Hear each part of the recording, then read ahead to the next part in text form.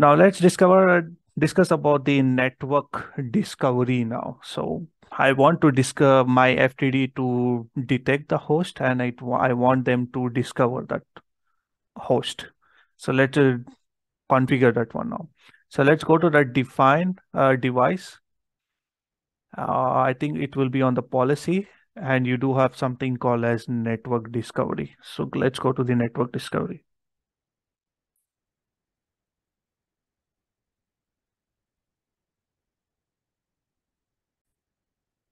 All right, so by default, there is one policy. I will edit the same policy now. And here you see that I want to discover and it says any, any, that's absolutely fine. But if I go to the zones, I don't have any zones. I will select the inside zone. I will select the DMZ, but not the outside. I don't want to detect, do the scanning on the outside. So be careful. So if you want to exclude any ports, you can go ahead and exclude, or if you want to add your custom, you can add the custom ones. Now I want to detect the host as well as I want to detect the users. And it is also going to detect the applications. So I will click on save. That's it. So that's the only thing you have to do in order to do the network discovery. Let's go to the deploy deployment.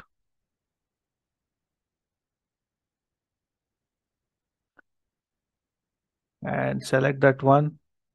Click on deploy and deploy. So let's take the remote desktop for one of my PC. That should be PC1. So I will click on add entry, new entry. That should be RDP.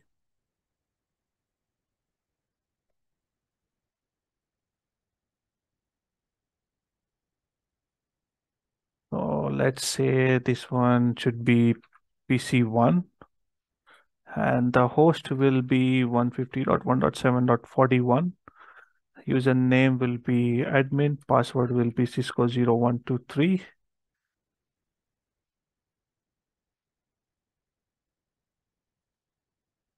and click on ok. So that's the management ip address which i am physically connected to my laptop. So click on open session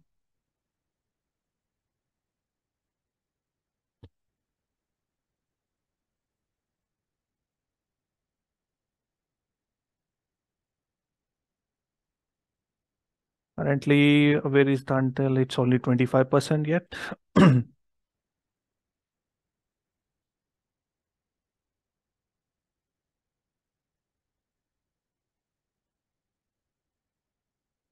I make sure that my PC is on. Yep, I was able to log in. That's fantastic. So here, let's uh, go to the command prompt. So I want to make sure that I do ping 172.16.3.254. That is my default gateway. Yep, I'm able to ping. So let's wait until that is been deployed. And after that, we will try to ping the inside interface of the ASA. And after a while, while we continue with the future uh, labs, over there, we can see that it is detecting the what do we say, host, the PCs and everything. All right, so deployment was successful. Let's go and do a ping to 172.16.2.10.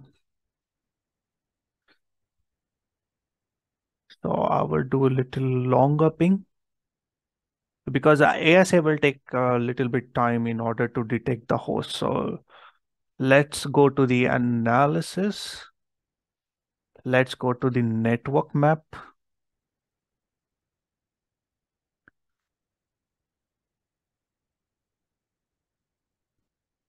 So we go to the analysis within the host, you see that network map. And currently you see that it, it did not detect yet. So it will take time to detect, but hopefully not now. So we in the future lab when we see Okay. All right.